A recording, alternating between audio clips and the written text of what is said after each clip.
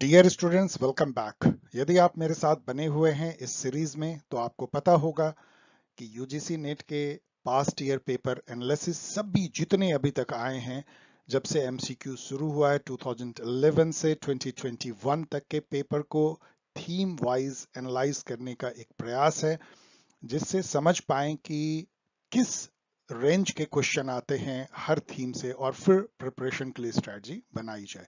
उस क्रम में हम पहुँच चुके हैं पार्ट थर्ड जिसमें हम छह साइकिल की चर्चा कर रहे हैं 2014 से 2016 और उसमें हमने थीम लिया है पॉलिटिकल थ्योरी की। पार्ट थ्री में अभी तक हम लोगों ने एज यूजुअल डब्ल्यू यानी वेस्टर्न पॉलिटिकल थॉट और इंडियन पॉलिटिकल थॉट को कवर कर लिया, ये थर्ड है।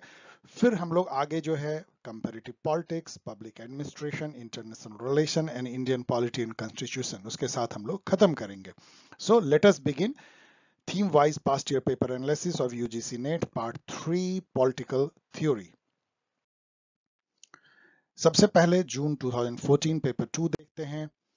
फ़र्स्ट क्वेश्चन है क्वेश्चन नंबर भी आप इसमें देख सकते हैं। Identify the correct sequence of the tenets of tenet मतलब जो उसके मेन कोर थॉट हैं tenets tenets of behaviouralism as advocated by David Easton आपको पता है कि बिहेवियरलिज्म 1950s में ये आपको याद रखना चाहिए ये डेट इसमें एक तरह का मूवमेंट था पॉलिटिकल साइंस में, जो पॉलिटिकल साइंस को साइंस की तरफ़ ले गया नेचुरल साइंस की तरफ़। Data quantification testable hypothesis observation and इस टाइप के टूल्स एंड टेक्निक जो नेचुरल साइंस के एक्सपेरिमेंट में होते हैं, वो पॉलिटिकल साइंस में आने लगे। उसके एक बहुत बड़े जो प्रणेता थे या फाउंडर थे वो डेविड स्टन थे। ये एक बहुत अजीब सी बात है, बहुत क्यूरियस बात है कि डेविड स्टन ने पोस्ट बिहेवियरलिज्म की भी स्थापना की। मतलब एक तरफ़ तो बिहेवियरलिज्म और फिर उसके आगे निकल करके उन्होंने उसको एक तरह से डिनाउंस करते हुए या एक तरह से उसको सुधार करते हुए पोस्ट बिहेवियरलिज्म की भी स्थापना की। उन्होंने आठ कैरेक्टरिस्टिक जो है बिहेवियरलिज्म के बताए जो मैंने यहाँ पे दिया है। वो एक पर्टिकुलर क्रम में उन्होंने बताया। ये क्वेश्चन तो बहुत बेकार है मेरे हिसाब से कि वो क्रम पूछा जाए। ये इट डजेंट मैटर उन्होंने ये क्रम दिया कि regularities verification technique quantification blah blah पढ़ सकते हैं। लेकिन ये ऐसा नहीं कि पहले ये आएगा, बाद में ये आएगा। लेकिन ये क्वेश्चन वही पूछता है जो कि बहुत ही रोट लर्निंग का एक है। तो आप यहाँ देख सकते हैं रेगुलेटरीज वेरिफिकेशन तो रेगुलेटरीज बाद वेरिफिकेशन तो वन के बाद फोर आएगा। तो वन के बाद फोर और इस तरह से। लेकिन ये क्वेश्चन लेकिन सही क्या है कि आप ये एट करेक्टरिस्टिक को याद कर लीजिए। और ये सेवन उन्होंने जो है क्रेडो उन्होंने credo of relevance of post behaviouralism दिया था ईस्टर्न ने।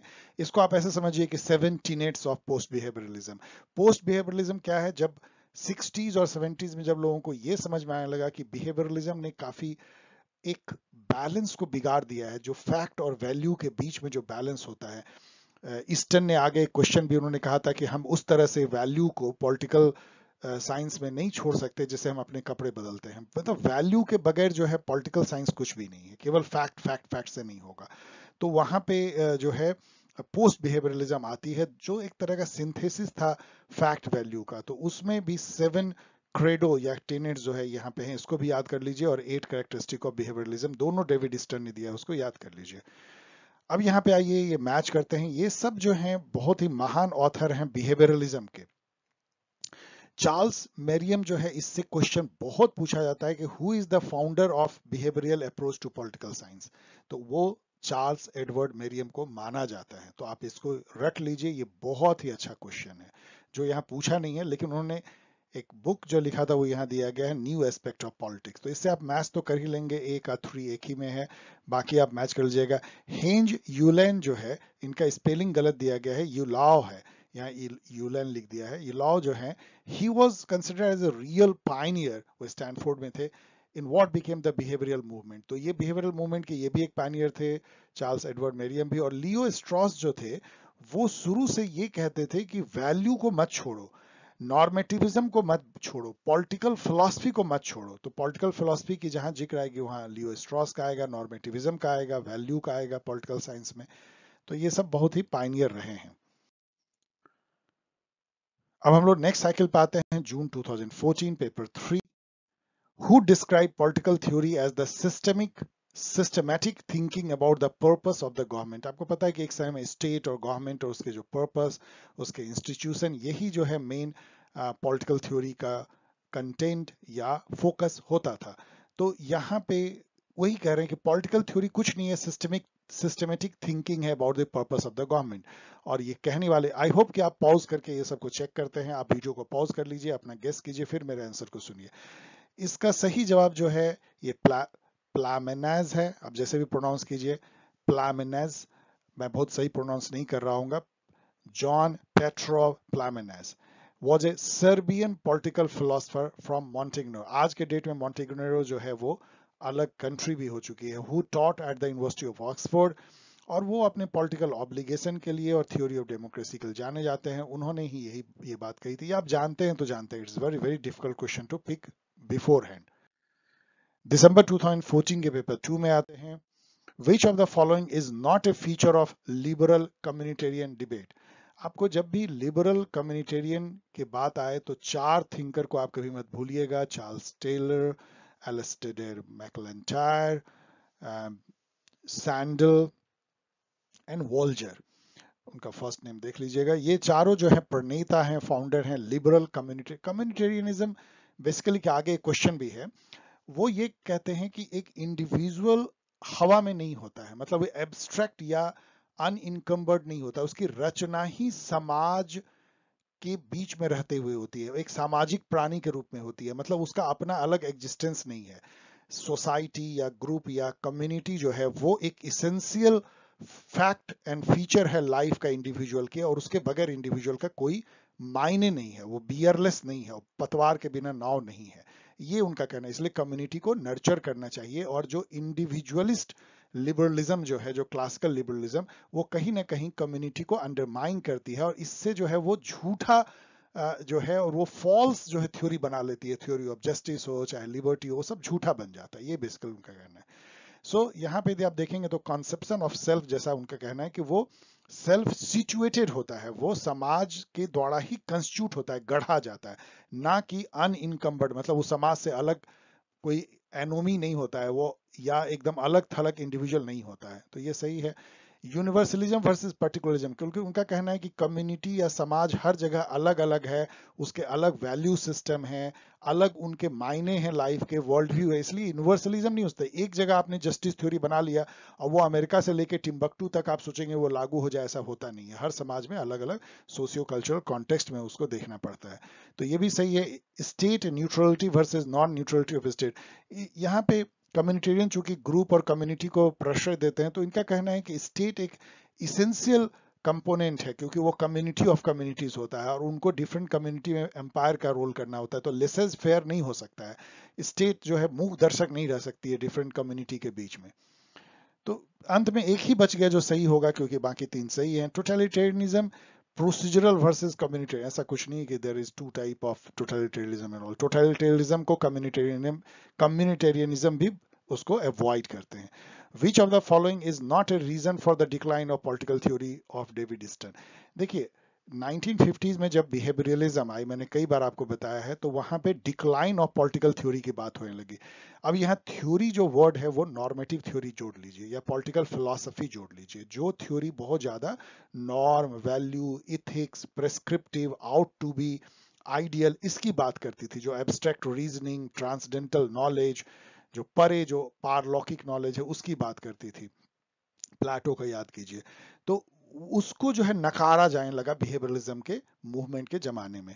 तो डेविड ईस्टन ने कहा कि क्यों पॉलिटिकल थ्योरी का डिक्लाइन हो रहा है उसी टाइम में? उन्होंने कहा कि वो बहुत ज़्यादा हिस्टोरिसिज्म उसमें इनबिल्ट हो गए मतलब कि थिंकर जो है वो हिस्ट्री को देखते हैं और जिस टाइप का हुआ है उसी बेसिस पे वो प्रेडिक्ट करने लगते हैं कि फ्यूचर भी ऐसा होगा। मोरल रिलेटिविज्म घुस गया है। मतलब कि मतलब पॉलिटिकल थ्योरी जो है फ्रैगमेंटेड हो गई है। जैसा कि कम्युनिटेरियन कहते हैं कि हमारा जो मॉरलिटी है वो यूनिवर्सल नहीं है। हर समाज का कम्युनिटी का अलग अलग मॉरलिटी यदि ऐसा सोचा जाएगा तो फिर कोई थ्योरी नहीं बन सकेगी। क्योंकि फिर तो होगा कि भाई कोई थ्योरी बन नहीं सकती है क्योंकि वो हर आ, आ, समाज में अलग अलग मॉरलिटी है कि मायने हैं स्टैंडर्ड है तो पॉलिटिकल थ्योरी वहीं पर ध्वस्त हो जाएगी। कुछ ना कुछ यूनिवर्सलिज्म तो चाहिए है। तो ये भी उसका कारण है। आइडियोलॉजिकल रिडक्शनिज्म नहीं था। हाइपर फैक्चुअलिज्म था। मतलब कि फैक्ट फैक्ट फैक्ट बिना ये सोचे हुए कि इसका लिंकेज क्या है थ्योरी से। केवल फैक्ट जुटा लिया, लेकिन क्यों जुटाया ये पता नहीं है। तो ये तीनों थी, इसको याद कर लीजिए, ये नहीं था। और ये तीनों पूछा जाता है कि क्या थ्री रीजन डेविड स्टन ने दिया था पॉलिटिकल थ्योरी के डिक्लाइन का 1950s में। दिसंबर 2014 पेपर थ्री देखते हैं। Who among the following said that political theory is quite simply man's attempt to consciously understand and solve the problems of his group life and organization?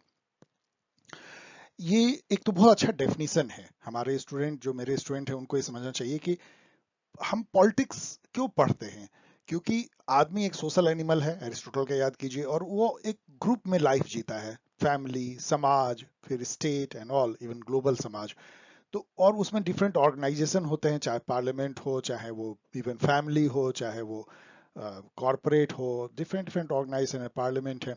तो वो group life को manage करता है बहुत सारे उसमें इश्यूज़ होते हैं डिसीज़न लेने पड़ते हैं कलेक्टिव प्रॉब्लम होते हैं सोशल प्रॉब्लम जो बहुत कॉम्प्लेक्स होते हैं, उसको कैसे सुधार जाए और कैसे एक इंडिविजुअल और समाज का जो है बैलेंस रह करके इंडिविजुअल भी फ्लरिश करे और समाज भी जो है इंटैक्ट रहे। यही पॉलिटिकल साइंस का एक प्रश्न है। प्रेडिकामेंट है जिसको सॉल्व करने के लिए पॉलिटिकल थ्योरी बनती है और वही इस डेफिनेशन में कहा जा रहा है। इसको कहने वाले जो है ये जॉर्ज हॉलैंड सबाइन थे। इन्होंने जो बुक लिखा था, a history of political theory, ये एक सेमिनल बुक है, बहुत पहले लिखी गई है 1937 में एक तरह का ग्रंथ है, और जिसमें कि वो पूरे जो पॉलिटिकल थॉट है एंशियंट ग्रीस, प्लाटो, एरिस्टोटल से लेकर के, और नाजिज्म जो 1930 में फैसिज्म का उदय हुआ है, वहाँ तक उन्होंने पॉलिटिकल थ्योरी का एक थोड़े हिस्टोरिकल जर्नी दिया है पॉलिटिकल थॉट का। विच वन ऑफ़ उसी किताब में उन्होंने ये बात कही है। Which one the following answer is incorrect regarding neo liberalism आपको पता है नियो लिबरलिज्म अभी जो दौर चल रहा है ग्लोबलाइजेशन का, उसको नियो लिबरल ग्लोबलाइजेशन बोलते हैं। और नियो लिबरलिज्म जो है 1980s के लास्ट में शुरू हुई। थैचर रेगन इसके सबसे बड़े मास्कट थे वर्ल्ड में। फेडरिक हयाक जो है, वो उसके इकोनॉमिकल गुरु थे मार्गरेट थैचर के। रॉबर्ट नॉजिक जो है, वो अमेरिका में न्यू लिबरलिज्म के जनक या समर्थक रहे हैं। So new liberalism new liberal vision largely evolve during the government of Ronald Reagan Margaret Thatcher बिल्कुल सही है। इट अटैक ये हमको तो नॉट करना है तो ये सब, ये तो आंसर सही होगा नहीं। It attack the Keynesian notion of international economic order Keynesian order notion मैंने बहुत बार बताया है कि मैरिड केनीस केनीस ने ये दिया था कि जो गवर्नमेंट की एक्सपेंडिचर यदि ज़्यादा होगी इंफ्रास्ट्रक्चर में डेवलपमेंट में तो उससे कंजम्पशन इकोनॉमी में सॉरी इकोनॉमी में कंजम्पशन बढ़ेगा और उससे जो है इकोनॉमिक डेवलपमेंट होगा। मतलब गवर्नमेंट अपना फ़िज़िकल डेफिसिट ज़्यादा रखे और ज़्यादा जो है वो इंफ्रास्ट्रक्चर और डेवलपमेंट में इन्वेस्ट करे कंज्यूम करे. कंजम्पशन गवर्नमेंट कंजम्पशन ज़्यादा होनी चाहिए। उसको उलट दिया गया, यहाँ पे हो गया कि नहीं। उसको डिमांड साइड मैनेजमेंट कहा जाता था कि गवर्नमेंट डिमांड बढ़ाए इकोनॉमी में। अब होने लगा फेडरिक हयाक का कि नो सप्लाई साइड मैनेजमेंट होनी चाहिए। मतलब गवर्नमेंट को डिमांड के बजाय सप्लाई को कंट्रोल और मैनेज करना चाहिए कि गुड्स एंड सर्विसेज़ जो है एडिक्वेट क्वांटिटी में अवेलेबल हो एट द बेस्ट प्राइसेज और उसमें कंपटीशन हो सप्लायर में, जैसे कि प्राइसेस कम हो। It emerge as a total negation of laissez faire economics laissez faire मतलब वो गवर्नमेंट जो टांग नहीं अड़ाती इकोनॉमिक मामलों में या इवन किसी भी मामले में मतलब मूक दर्शक न्यूट्रल बनी रहती है। तो ये it emerge as a total negation अब एकदम बिल्कुल उल्टा है। No it wanted laissez faire economics मतलब कि गवर्नमेंट टांग ना रहा है प्राइवेट सेक्टर को छोड़ दे जो वो करती है। तो ये रॉन्ग स्टेटमेंट इसलिए यही सही ऑप्शन है। और तो लास्ट वाली सही होगी। Its emphasis is on free market and liberal reform of course free market liberal liberal reform पे इसके थे। इसी के तहत न्यू लिबरल आइडियोलॉजी के तहत वॉशिंगटन कंसेंसस लाया गया। उसी के तहत स्ट्रक्चरल एडजस्टमेंट प्रोग्राम पूरे दुनिया में चलाया गया, जिसमें इंडिया ने भी भाग लिया। Who of the following lamented the death of political philosophy जैसा मैंने बताया कि 1950s में बिहेवियरल रिवोल्यूशन के दौर में, कई थिंकर ने ये कहना शुरू कर दिया कि जो नॉर्मेटिव पॉलिटिकल थ्योरी है या पॉलिटिकल फिलोसफी उसका अंत हो गया है। उसमें सबसे ज़्यादा जो इस तरह से बात कहने वाले थे, पीटर लैसलेट थे, जिन्होंने डिक्लेयर कर दिया कि political theory is dead lamented का मतलब होता है एक तरह का, उन्होंने अफसोस ज़ाहिर किया कि पॉलिटिकल थ्योरी या पॉलिटिकल फिलोसफी या normative political theory is dead अब इस क्वेश्चन का एडिशनल इंफॉर्मेशन मैं दे रहा हूँ कि thinkers who declare decline of political theory आपको जानना चाहिए। डेविड ईस्टन ने भी कहा था पीटर लैसलेट जिन्होंने कहा पॉलिटिकल थ्योरी इज़ डेड रेमर ने कहा political theory is in dog house मतलब कि बिल्कुल बर्बाद हो गई है। रॉबर्ट डहल जो प्लुरलिज्म के समर्थक थे एल्फ्रेड कॉबैन एंड डांटे जर्मिनो जर्मिनो एक बार और आएँगे क्वेश्चन में। ये वो थिंकर है जिन्होंने की कहा कि नो पॉलिटिकल थ्योरी रिवाइव होगी। मतलब फिर से जो है नॉर्मेटिव पॉलिटिकल थ्योरी रिवाइव होगी। फैक्ट वैल्यू का सम्मिश्रण होना चाहिए। इसे आप बर्लिन आपको पता है two concept of just liberty लिखने वाले। लियो स्ट्रॉस जिन्होंने हमेशा वैल्यू और नॉर्मेटिज्म को वैल्यू दिया। सबाइन जिनका भी आपने देखा book history of political theory Hannah Arendt एक बहुत बड़ी एक वुमेन थिंकर जो ज्यूज थी, अमेरिका के बसी टोटलिटिज्म पे लिखती थी। एरिक वॉगलिन को आप नहीं जानते होंगे, लेकिन याद कर लीजिए डेविड इस्टन यस ये दोनों जगह आते हैं। इन्होंने रिवाइवल की भी परिकल्पना की पोस्ट बिहेवियरलिज्म भी और बिहेवियरलिज्म भी। एंड ऑक्सॉर्ड जो कि हिस्टोरिकल अप्रोच अपनाते हैं जॉन रॉल जिन्होंने की नॉर्मेटिव पॉलिटिकल थ्योरी को फिर से ज़िंदा किया ट्वेंटी सेंचुरी में Robert Nozick yes Robert Nozick जो है, वो भी नॉर्मेटिव पॉलिटिकल थ्योरी ही उनका जो जो जो जो बुक है इंटाइटलमेंट थ्योरी ऑफ़ जस्टिस जिसको स्टेट एनार्की इन यूटोपिया वो एक नॉर्मेटिव अप्रोच ही है। हर्बर्ट मार्क्यूज जो कि नॉर्मल टाइम में क्रिटिकल थिंकर माने जाते हैं, और वो भी नॉर्मेटिज्म के एक समर्थक रहे हैं। तो ये इंपॉर्टेंट है, दोनों को याद कर लीजिए। Which one of the following answer is correct regarding post Marxism post Marxism क्या है? देखिए पोस्ट वर्ड कहीं लग जाए ना पोस्ट फेमिनिज्म मतलब फेमिनिज्म से आगे निकल जाना पोस्ट बिहेवियरलिज्म मतलब बिहेवियरलिज्म को पीछे छोड़ के आगे निकल जाना पोस्ट मार्क्सिज्म मतलब मार्क्सिज्म को छोड़ के आगे निकल जाना मार्क्सिज्म की कई चीज़ों को नकार देना, जैसे कि इकोनॉमिक डिटर्मिनिज्म या स्टेट का इंस्ट्रूमेंटल रोल एंड ऑल कई चीज़ों को वो रिवाइज करते हैं, वो पोस्ट मार्क्सिज्म है।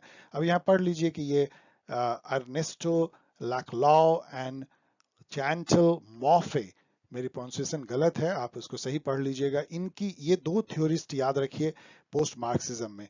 और लुई अल्थुजर को ज़रूर याद कीजिए इन्होंने पोस्ट मार्क्सिज्म को बढ़ाने में काफ़ी आ, काम किया एंड इनका तो मैं प्रोनाउंस भी नहीं कर सकता हूँ आप पढ़ लीजिए। So but you should know ये सब अलग अलग क्वेश्चन में आपको ये पूछा जाएगा कि कौन जो है पोस्ट मार्क्सिज्म के जनक माने जाते हैं किसने इन्हें बढ़ावा दिया। चार को ज़रूर याद रखिए। अब इसमें आप देखिएगा तो ऑल ऑफ़ द है आंसर बिल्कुल ऑल ऑफ़ द है, आप सब पढ़ लीजिए। बेसिकली यही है कि वर्किंग क्लास से उनको आगे निकल गए, कोई प्रोलेटेरियन मूवमेंट नहीं है और इकोनॉमिक क्लास इंटरेस्ट जो है, वो उससे भी आगे निकल गए। वो ऑटोनोमस होता है आइडियोलॉजी और पॉलिटिक्स से। ऐसा नहीं है कि वो, चूँकि मार्क्सिस्ट जो कहते हैं कि वो इकोनॉमिक डिटर्मिनिज्म सॉर्ट ऑफ़ जो है वैसा नहीं है। वो, उसमें और बहुत सारे इश्यूज़ हैं। सो so बेसिकली ये जो है ऑल ऑफ़ द एवब जब भी आए तो मैं आपको बताता रहता हूँ कि वही ज़्यादा सही होती है और यहाँ पे बहुत ही लॉजिकल भी है कॉमन सेंस से भी आप देख सकते हैं। Which one of the following statement is incorrect regarding political ideology political ideology मैंने अभी जस्ट आपको बताया टूसिट डी ट्रेसी जो भी उनका नाम है, उन्होंने इसको दिया था first time ideology word coin किया था। आइडियोलॉजी आपको पता है क्या मायने होता है। एक पर्टिकुलर टाइप का जो यहाँ पे लिखा हुआ भी है। It is a kind of believe system which helps to structure how the world is understood and explain यही है।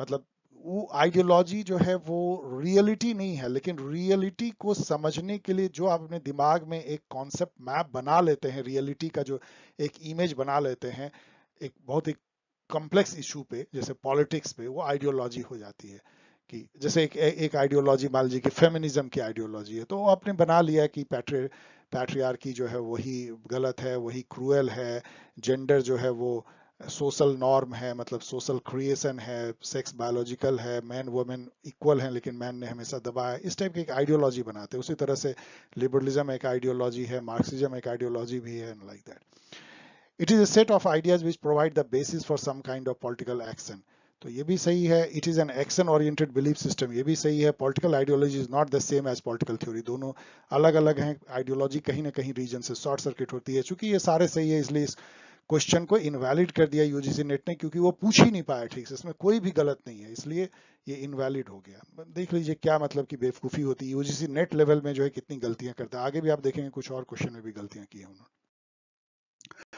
Who of the following said Lenin's party was designed to be an elite, a minority chosen for intellectual and moral superiority, the most advanced part of the working class and so it is vanguard. Vanguard मतलब जो front पे रहती है जो lead करती है ये इतनी लंबी चौड़ी लेनिन के vanguard party as a vanguard को जो है अगेन जीएस सबाइन ने कहा है एक तरह से क्रिटिसाइज करते हुए जीएस सबाइन दूसरी बात है इस तरह के क्वेश्चन को पकड़ना बहुत डिफ़िकल्ट है आप जानते हैं तो जानते हैं जून 2015 पेपर टू पे चलते हैं हम लोग।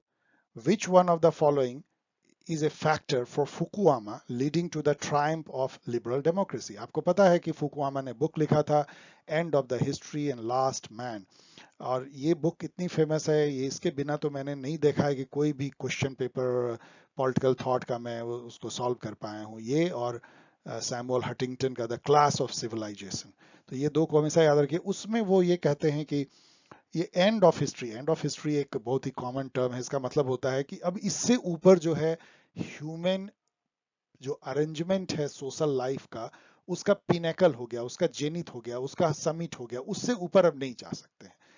यही कहना है। और वो उसमें कहना है कि ये ये सोशल अरेंजमेंट जो है वो क्या है?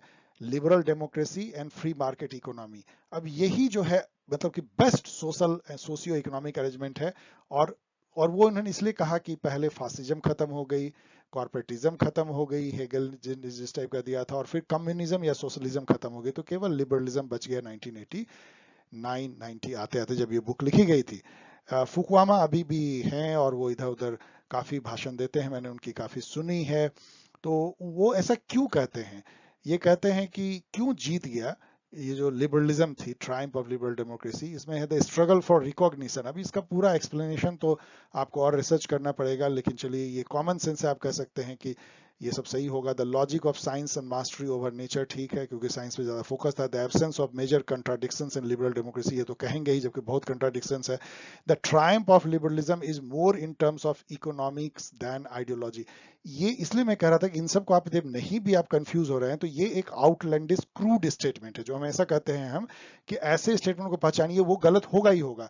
क्या कभी ऐसा हो सकता है कि इट इज़ मोर लिबरलिज्म जो ट्राइम जो उसकी जो विक्ट्री है ट्राइम मतलब विक्ट्री विक्ट्री लिबरलिज्म की ज़्यादा इकोनॉमिक्स में है देन आइडियोलॉजी नो दोनों ही था आइडियोलॉजी एंड इकोनॉमिक्स दोनों में थी, इसलिए ये गलत स्टेटमेंट है और यही आपको एक ही स्टेटमेंट गलत खोजना है, आपको मिल गया।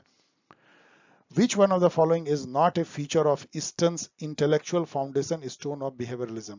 अब फिर से वही आठ आप देख लीजिए, आठ में से देखिए कि इसमें कौन नहीं है, आप देखेंगे स्ट्रेटिफिकेशन नहीं है और यही सही है। इजी बट इसके लिए आपको ये आठ जो टीनेट्स है, वो बिहेवियरिज्म के ईस्टर्न के, याद रखने पड़ेंगे। फिर मैं बोल रहा हूँ डियर स्टूडेंट सेवन क्रेडो भी याद रखिए, वो भी उतना ही इंपॉर्टेंट है। June 2015 paper Who among the following said that post-behavioralism was a genuine revolution, not a reaction, a becoming, जैसे being से becoming हो जाता है ना फूल के होने का एहसास एंड फूल हो जाना ए बिकमिंग नॉट ए preservation मतलब ये स्टेटस कोइस नहीं था, ये एक चेंज था। ए रिफॉर्म ये एक रिफॉर्म है नॉट ए काउंटर रिफॉर्मेशन इस तरह की अच्छी अच्छी बातें पोस्ट बिहेवियरिज्म के बारे में कौन बोलेंगे? डेविड ईस्टन बोलेंगे, क्योंकि वही उसके प्रणेता थे, उन्होंने सेवन क्रेडो दिया था, मैंने यहाँ पे फिर से एक बार दे दिया है, इसको फिर से एक बार याद कर लीजिए।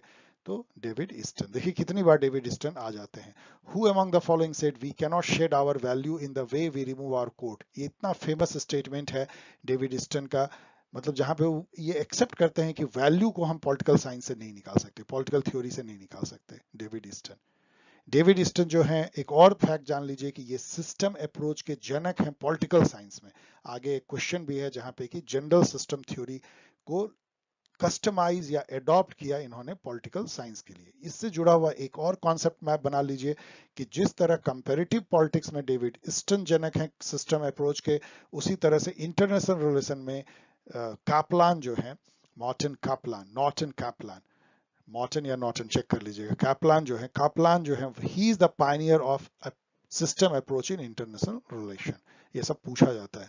Who among the following characterized early liberalism? Early liberalism मतलब classical liberalism as possessive individualism ये इतना आसान क्वेश्चन है। यदि आप मेरे साथ बने हुए हैं तो आप कभी भूल नहीं सकते कि ये वर्ड जो क्वाइन किया था, ये ये मैकफर्सन ने किया था सीबी मैकफर्सन, कैनेडियन, जो कि एक तरह से मार्क्सिस्ट थिंकर हैं उन्होंने इंडिविजुअलिज्म उस तरह की इंडिविजुअलिज्म जो इतनी स्वार्थी होती है, जो केवल अपने बारे में सोचती है, समाज इवन किसी परिवार के बारे में भी नहीं, जो उनका कहना था कि ये जो लॉक एंड हॉब्स का जो जो जो लिबरलिज्म है, वो पॉजिटिव इंडिविजुअलिज्म है कि हमारे पास ज़्यादा से ज़्यादा संपत्ति हो, कार हो, गाड़ी हो, बंगला हो इवन हमारे पास करोड़ रुपये हो, फिर भी एक रुपये भी हम भीख ना देना चाहें। इस टाइप की जो थॉट जिस इंडिविजुअलिज्म में होती है, वो पॉजिटिव इंडिविजुअलिज्म हो गया। दिसंबर 2015 पेपर टू देखते हैं। Scholasticism of middle age sought to establish देखिए स्कॉलेस्टिसिज्म पे यदि आप पढ़ेंगे तो वो एक दौर था मिडिल एज में जहाँ पे कि जो स्कूल कॉलेज या जो भी उसमें के थे इंस्टीट्यूशन उसमें थियोलॉजी मतलब रिलीजियन स्पिरिचुअलिटी इतना हावी हो गया था कि इवन फिलोसफी साइंस सबको जो है रिलीजन के दायरे में या उसके डोमेन में ही पढ़ाया जाता था। तो यहाँ यदि आप पढ़ेंगे तो the ascendancy of theology over philosophy हो गया था and subordination of rational element जो था रैशनल लॉजिकल रीजन वो सबॉर्डिनेट हो गया था theological element of the church पे। चर्च की सभी कुछ मतलब चर्च ही फिलोसफी ज्ञान साइंस का जो है वो भंडार है। वही उस, वो जो कह रहा है और सब बकवास था, वो सब जो मॉडर्न एज में हम लोग उसको छटक दिया। साइंस पे हम लोग चले गए चर्च अलग हो गया हमारे लाइफ से मतलब रिलीजियन हमारे सेकुलर लाइफ से अलग हो गया साइंस लॉजिक रैशनलिटी पे बेस हमारा जीवन हो गया, जिसको कि वेबर ने कहा रैशनल ऑथोरिटी हो गई मॉडर्नाइजेशन आ गया ब्यूरोक्रेसी हो गई साइंस एंड टेक्नोलॉजी आ गया, और मॉडर्न जो है political arrangement like democracy in parliament and all उस टाइप के हुए। तो उससे हम जो है हट गए, जो मेडिवल टाइम में जो चर्च बेस्ड जो हमारी फिलोसफी नॉलेज और कहिए साइंस एंड जो ज्ञान एपिस्टेमोलॉजी, सब जो है हमारे थियोलॉजी से गाइडेड होती थी सी एंड डी अब यहाँ पे देखिए रीजन एजर्सन है power corrupt and absolute power corrupt absolutely अब ये तो अपने आप में क्वेश्चन है कि ये किसने कहा, ये लॉर्ड एक्सन ने कहा है।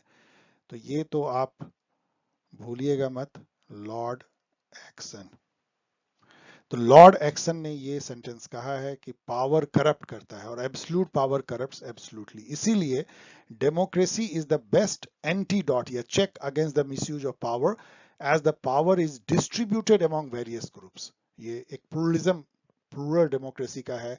या आप कह लीजिए मॉन्टेक्स ने जो कहा था कि थ्री ऑर्गन में डिवाइड होनी चाहिए like legislature judiciary executive check and balance होना चाहिए, जिससे कि एब्सलूट पावर किसी को ना मिले, क्योंकि एब्सलूट पावर मिलेगा तो वो करप्ट होगा ही होगा, ये पावर का नेचर है। तो ए मतलब assertion is true reason is true and reason correctly explain assertion communitarian theory lay emphasis on आपको मैंने कहा था कि आगे एक क्वेश्चन और मिलेगा कम्युनिटेरियनिज्म पे, और इसका जो पहला है वही, इसका सबसे सही कम्युनिटी एज एन इनस्केपेबल या इनडिस्पेंसेबल या इसेंशियल आइडियल मतलब उसके बगैर नहीं चल सकता।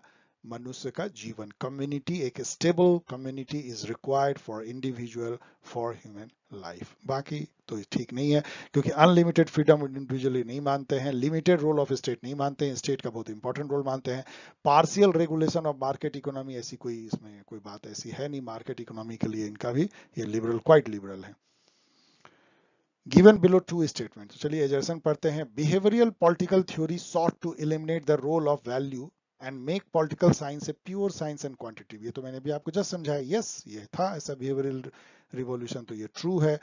रीजन इसका बता रहे हैं कि political science being a social science can never be value free जो कि ईस्टर्न ने कहा कि हम अपने कोर्ट की तरह वैल्यू को नहीं बदल सकते। As it deals with human beings who are value bound ये सही है।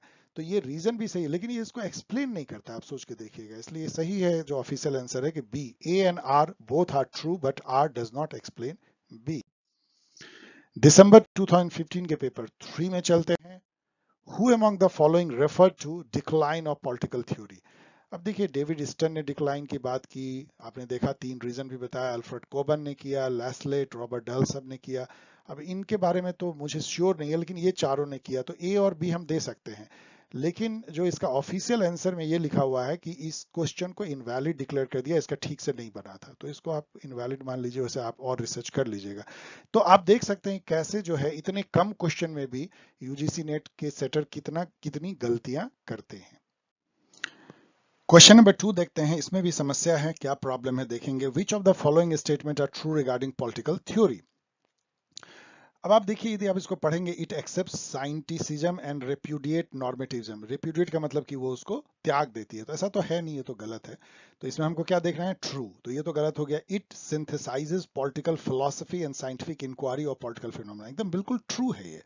ये दोनों को सिंथेसाइज करती है। एक तरफ़ पॉलिटिकल फिलोसफी है नॉर्मेटिज्म नॉर्मेटिविज्म है, और दूसरी तरफ़ political as a political phenomena as a science scientific inquiry तो ये सही है। It is structural and institutional and examine the logic and basis of political institution organisation ये भी अपने आप में सही है, लेकिन चलिए इसको हम क्वेश्चन मार्क कर देते हैं।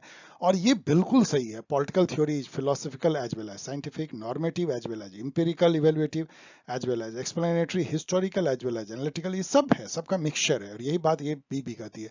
लेकिन इसका ऑफिशियल आंसर है डी ओनली मतलब इसके अनुसार से ये गलत है, जो कि बिल्कुल गलत नहीं है। बी स्टेटमेंट बिल्कुल सही है।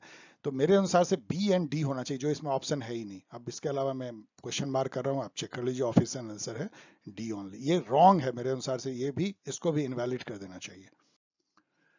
ये भी इसमें भी प्रॉब्लम है, इसको भी इनवैलिड होना चाहिए। Which of the following is true of modern liberalism modern liberalism आपको पता है, जो जॉन रॉल ने शुरुआत की, जिसको कि एक तरह से आप पॉजिटिव लिबरलिज्म या नॉर्मेटिव लिबरलिज्म भी कह सकते हैं। मतलब जहाँ पे कि डिस्ट्रीब्यूटिव जस्टिस की बात आ जाती है, गरीबों का ध्यान रखना है वेलफेयर स्टेट की परिकल्पना आती है। मतलब कि आप रॉबिन हुड बन सकता है स्टेट आप प्रोग्रेसिव टैक्स लगाएँ, अमीरों से वेल्थ टैक्स लें और गरीबों में बांटें। मतलब कि प्योर क्लासिकल रियलिज्म से आगे निकल जाना जहाँ पे कि मतलब हमको मतलब ही नहीं है कौन अमीर है, कौन गरीब है, गरीब मरे, लेकिन सब कोई अपना कंपटीशन और फेयर मतलब इक्वल अपॉर्चुनिटी केवल हम दे रहे हैं। उसकी बात नहीं होती है, जहाँ पे कहीं ना कहीं जो है वो सबस्टेंटिव इक्वलिटी की बात आने लगती है। उसको मॉडर्न लिबरलिज्म कहते हैं। तो इसमें देखेंगे तो freedom of the individual as against the authority of the state ये अभी भी है। इसको कभी मॉडर्न लिबरलिज्म ने नहीं छोड़ा, क्योंकि ये कोर टीनेट है लिबरलिज्म का। यदि इसको छोड़ दिया कि स्टेट या समाज इंडिविजुअल लिबर्टी को दबाएगा तो वो लिबरलिज्म रहेगी नहीं तो ये ट्रू है। Recognises the importance of group ऐसा नहीं है कि ये कोई कम्युनिटेरियन थिंकिंग था, ये ग्रुप को रिकॉग्नाइज नहीं करते थे, ये करते तो इंडिविजुअल लिबर्टी को ही थे। ओवर ग्रुप लेकिन फिर भी ये मानते थे कि जो गरीब गुरुआ हैं, जो दबे कुचले मार्जिनलाइज हैं, उनको ज़रूर डिस्ट्रीब्यूटिव जस्टिस मिलनी चाहिए। तो ये मैं क्वेश्चन मार्क रखूँगा support the limited role of state no ये वेलफेयर स्टेट की परिकल्पना करते थे। गलत था support the state regulation to safeguard the weak yes तो इसका सही आंसर होना चाहिए ए और डी मेरे हिसाब से। ए और डी है भी यहाँ पे, लेकिन इसका ऑफिशियल आंसर है बी और डी मतलब ये कहते हैं कि ग्रुप को देती है और डी तो आप बस चेक कर लीजिए मेरे अनुसार से ये जो ऑफिशियल आंसर है, ये सही नहीं है, मैं क्वेश्चन मार्क कर रहा हूँ। जून 2016 पेपर टू को देखते हैं। Who among the following consider Marxism to be an ideology rather than the political theory आपने देखा कि पॉलिटिकल थ्योरी और आइडियोलॉजी में ये फ़र्क होता है कि आइडियोलॉजी शॉर्ट सर्किटेड होती है रीजन से। एक लिमिट के बाद वो रीजन को छोड़ देती है। बस एक तरह का बिलीफ हो जाता है। और ये कहने वाले जो है जर्मिनो हैं आप जर्मिनो के बारे में भी पढ़ लीजिए और इसको और थोड़ा रिसर्च भी कर लीजिए। हु द जर्मिनो ने भी जो है पॉलिटिकल थ्योरी के डिक्लाइन की भविष्यवाणी की थी। Who among the following said research untutored by theory मतलब कि ऐसा रिसर्च जो थ्योरी के द्वारा बैक नहीं है, वो ट्रिवियल है। और जो थ्योरी डेटा के द्वारा सपोर्टिव नहीं है, वो फ्यूटाइल है, बेकार है। ये कहने वाले भी डेविड स्टन ही थे। एक बार फिर से चार्ल्स मेरियम को देखिए founder of behavioural revolution Dahl, जो पॉली आर्ची बुक लिखा, ये पॉलिटिकल प्लूरलिज्म के एक तरह के बहुत बड़े प्रोपोनेंट रहे हैं। तो डेविड स्टन कितने बार आ रहे हैं, आप इसको देखिए, कितना इंपॉर्टेंट है। David Easton Fukuyama, Samuel Huntington, इन सबको बहुत गौर से आपको उनके सारे क्वेश्चन को देखने चाहिए। वो कहीं ना कहीं टपक पड़ेंगे बहुत जगह। जून 2016 पेपर थ्री देखते हैं। Who among the following said that political theory stands for an abstract model of political order? मतलब कि जो political order है, जो political arrangement है, उसका एक जो प्रतिरूप, जो दिमाग में बन सकता है। एब्स्ट्रैक्ट मतलब क्या होता है? जो रियली नहीं है। मतलब कि जो जो इमेजिनेशन जैसी कह लीजिए एब्स्ट्रैक्ट है, जो छुपा हुआ है। तो एब्स्ट्रैक्ट जो है मॉडल जो है, वो पॉलिटिकल रियल पॉलिटिकल ऑर्डर का, वो पॉलिटिकल थ्योरी है। ये कहने वाले डब्ल्यू टी ब्लूहम थे ब्लूम अब इनके बारे में और पढ़ लीजिए, थोड़ा रिसर्च कर लीजिए। Which one of the following statement is not true ये आसान क्वेश्चन है, ये डिफ़िकल्ट क्वेश्चन था। Classical political theory is qualitative सही है। Behavioural political theory is quantitative सही है। Post behavioural political theory is both quantitative and qualitative सही है। दोनों को मिला दिया। तो चौथा अपने आप में गलत होगा। Behavioural theory is not specially concern with Anglo American model तो ये is especially concerned with Anglo-American model. Which one of the following statement is not true? ये भी आसान है Neoliberalism referred to significant revival of interest in classical liberalism. सही है तभी तो वो neoliberalism कहलाती है. Neoliberal ideas were taken up by the political parties of the new right in Britain. Yes, new right in Britain, new right in US also. The revival of the classical liberalism occurred as a reaction against the onset of a world recession in the 1970 ये भी सही है Keynesian economy उस समय तक जो है, काफ़ी रिसेशन ला चुकी थी। टी एच ग्रीन तो इसलिए ये सही होगा ही, क्योंकि गलत होगा। T H Green accepted the classical liberal notion of liberty only again ये क्रूड स्टेटमेंट हो गया। ओनली जब आप इस तरह का वर्ड लगाते हैं ओनली नॉट एट ऑल तो वो क्रूड स्टेटमेंट होता है जनरली गलत होता है। इस तरह से कोई सोशल साइंस में कोई डेफिनेटिव होता नहीं है। और टी एच ग्रीन के बारे में आपको पता है कि ये नॉर्मेटिव लिबरल थिंकर थे। इन्होंने क्लासिकल नोशन ऑफ़ लिबर्टी को सीधा नहीं अपनाया था। इन्होंने ये एक तरह के मॉडर्न लिबरलिज्म के जो है समर्थक थे। इसलिए ये वैसे भी गलत है। Who among the following said that ideology should neither be thought of as liberating or oppressive nor as true और फॉल्स ऐसा कुछ भी नहीं है कि सही है, गलत है लिबरेटिंग है ऑपरेसिंग है अच्छा है, बुरा है। It can be any of these things ये कहने वाले कौन थे? आपने पॉज करके वीडियो आंसर सोच लिया होगा तो इसका सही आंसर है एंड्रयू हेवुड जिन्होंने लिखा पॉलिटिकल पॉलिटिकल थ्योरी पे उन्होंने बुक लिखी है पॉलिटिक्स पे लिखी है, मैंने उनकी बुक पढ़ी है, और एक बुक जो मुझे पूरी पढ़नी भी है, वो है पॉलिटिकल आइडियोलॉजी एंड इंट्रोडक्शन 2017 की बुक एंड्रयू हेवर्ड की, उसमें उन्होंने ये बात कही है। Identify the correct sequence in which general system theory has been adopted in social science अब देखिए जनरल सिस्टम थ्योरी जो है, वो बायोलॉजी में डेवलप की गई, क्योंकि जो बायोलॉजिकल सिस्टम है, वो इतना कॉम्प्लेक्स होता है जैसे हमारा ह्यूमन सिस्टम सिस्टम का जो मतलब ये समझा गया, जो बायोलॉजी से आई, कि सिस्टम एक होल है जो कई इंटरेक्टिंग पार्ट से बनता है, वो जो पार्ट हैं आपस में एनर्जी और मैटर एक्सचेंज करते हैं लगातार और इक्विलिब्रियम में रहते हैं। ना कि इंटरनल इक्विलिब्रियम बट अपने इन्वायरमेंट से भी इक्विलिब्रियम में रहते हैं। और ये जो सिस्टम होता है, वो सेल्फ सस्टेनिंग होता है मतलब अपने आप चलता है, अपने आप सेल्फ रेगुलेटिंग होता है और ये इन्वायरमेंट से इनपुट लेता है, इसको प्रोसेस कर सकता है और आउटपुट जो है थ्रो करता है और फीडबैक लूप से जो है आउटपुट इनपुट से जुड़ा रहता है। ये एक सिस्टम अप्रोच है। ये देने वाले थे Ludwig von Bertalanffy Bertalanffy तो ये इन्होंने दिया था। ये नाम इसलिए याद कर लीजिए कि ऑस्ट्रियन साइंटिस्ट थे। ये बहुत बार पूछा जाता है कि who gave the general system theory और इसको 1968 में इन्होंने दिया था और इसको अपनाया गया सबसे पहले एंथ्रोपोलॉजी में सोशल साइंस में। फिर सोशियोलॉजी में Talcott Parson and many other ने इसको अपनाया एज ए सिस्टम जो कि जहाँ के सोशल सिस्टम की बात की जाए बायोलॉजिकल सिस्टम से अब सोशल सिस्टम पे आ गए। एंथ्रोपोलॉजी में सोशियो कल्चरल सिस्टम की बात होती थी। एंड साइकोलॉजी में आया एंड फिर पॉलिटिकल साइंस में आया कि पॉलिटिकल सिस्टम जो डेविड ईस्टन ने अपनाया एंड मॉर्टन कापलान ने भी अपनाया। तो ये देखेंगे तो anthropology sociology psychology political science तो ये एंथ्रोपोलॉजी थ्री से शुरू होगा थ्री के बाद जो है टू होगी तो ये सही है। Identify the basic contention contention मतलब जो आप कंटेंट करते हैं एजर्ट करते हैं कंटेंशन ऑफ़ डिपेंडेंसी थ्योरी ये मैंने जस्ट इसलिए ले लिया है कि डिपेंडेंसी थ्योरी वैसे तो मैं चाहता है इसको तो कॉम्परेटिव पॉलिटिक्स में लेकर, लेकिन चलिए थ्योरी के बीच में है। इसमें देखिए क्या है कि डिपेंडेंसी थ्योरी बेसिकली ये कहता है कि ग्लोबल लेवल पे अनइक्वल एक्सचेंज है, जो कोर जो है वर्ल्ड में, वो डेवलप्ड नेशन है और जो डेवलपिंग नेशन है, वो उसके सैटेलाइट या पेरीफेरी की तरह काम करते हैं। जो कोर डेवलप्ड नेशन है, वो सैटेलाइट या पेरीफेरी नेशन से cheap labour cheap raw material cheap food product agriculture product लेते हैं और उसको प्रोसेस करके महँगे दाम में उसको बेच देते हैं और उसके ही लेबर को यूज़ करके। और इसलिए कोर जो है वो अमीर से अमीर होता जाता है और जो पेरीफेरी है गरीब से गरीब। जो पेरीफेरी में जो रीजन थोड़े बहुत डेवलप नज़र आते हैं, वो स्यूडो डेवलपमेंट है, वो डेवलपमेंट ऑफ़ अंडर डेवलपमेंट है, वो रियल डेवलपमेंट नहीं है। ये कहने वाले रॉल प्रेबिस और कॉर्डोसो और A G Frank Andre Gunder Frank and Wallerstein ये सब जो है डिपेंडेंसी थ्योरी के बहुत बड़े थिंकर रहे हैं। अब इसमें यदि आप देखेंगे तो करेक्ट आंसर है development of call colony colony का तो कोई बात इसमें नहीं पोस्ट कॉलोनिज्म की बात है तो third world nation provide natural resources and cheap labour ठीक है। Industrialisation and market economy are conducive for development इसका कोई मतलब नहीं। Advance western nation prepare perpetuate अब देखिए, यदि आपको एक सही मिला और दो गलत मिला तो ये सही होगी ही, क्योंकि दो से कम सही नहीं है तो इसको सही कर लीजिए, आप पढ़ लीजिएगा। तो इसका मतलब क्या है? बी और डी तो बी और डी आपको मैंने बहुत कुछ बता ही दिया है।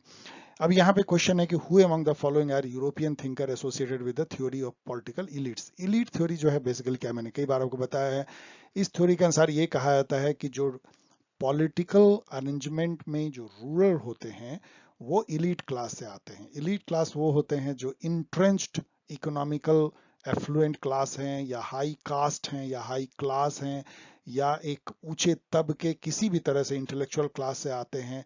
जैसे इंडिया में ब्राह्मण जो हैं या क्षत्रिय, ये लोग जमींदार, ये लोग जो हैं या ऊँचे क्लास के मुस्लिम, ये सब रूलिंग इलीट्स रहे हैं, जो बैरिस्टर रहे और उन्हीं लोगों ने कांग्रेस बनाया एंड तो इलीट जो है वो रूल करते हैं, चाहे वो फॉर्म ऑफ़ गवर्नमेंट कुछ भी हो, चाहे वो ऑटोक्रेसी हो डेमोक्रेसी हो सोशलिज्म हो, लेकिन रूल जो है इलीट्स करते हैं। और मासेज जो है, बस एक तरह से मूक दर्शक ही होती हैं, वो बस वोट देती हैं। वो वोटिंग में एक इलीट ग्रुप को हरा के दूसरे इलीट ग्रुप को जिताती हैं। बस इतना ही वो करती हैं। शासन तो इलीट ग्रुप ही करेगा, चाहे एक्स ग्रुप करे, चाहे वाई ग्रुप करे। ये इलीट थ्योरी है, इसको देने वाले पैरेटो है विल्फ्रेड पैरेटो मोजका है। मोजका ने रूलिंग क्लास का कॉन्सेप्ट दिया था। पैरोटे ने दो कॉन्सेप्ट दिया था जो एग्ज़ाम में पूछे जाते हैं। सर्कुलेशन ऑफ़ इलीट इनका कहना था सर्कुलेट करता है। और history is the graveyard of elite इन्होंने कहा था। सी राइट मिल ने पावर इलीट का कॉन्सेप्ट दिया था। अमेरिकन पॉलिटिकल सिस्टम में और रॉबर्ट मैकल ने आयरन लॉ ऑफ़ ओलिगर्ची मैंने सुम पीटर को भी लिया है, जिन्होंने डेमोक्रेसी को एक मेयर पॉलिटिकल मेथड बोला था, जहाँ पे कि लोग अपने रूरल को चुनते हैं। दैट्स ऑल ये भी एक elite way of thinking of democracy था। लेकिन यहाँ सुम पीटर को नहीं लिया गया चूल छोड़ भी सकते हैं तो पेरेटो एंड मोजका लिया है ए एंड बी ये चारों को याद कर लीजिए।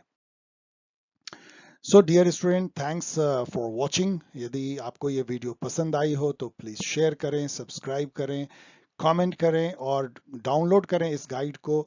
इस गाइड में तो मैं बोलता हूँ तो तीन गाइड आपके लिए है। यूजीनेट के लिए एक आईआर गाइड है, जिसमें कि इंटरनेशनल रिलेशन पे फोकस ज़्यादा है, लेकिन पूरी सेल्फ कंटेंट इसमें सब कुछ है। दूसरा जो है जनरल गाइड है ईटी एग्ज़ाम इंट्रेंस टेस्ट के लिए, वो भी मैंने अभी तक रखा हुआ है और एक मॉडल टेस्ट पेपर है, वो भी आप देख सकते हैं। और एक यूजीसी नेट की मुझे यदि टाइम मिला एनर्जी रही तो एक सेपरेट गाइड भी निकालने की कोशिश करेंगे।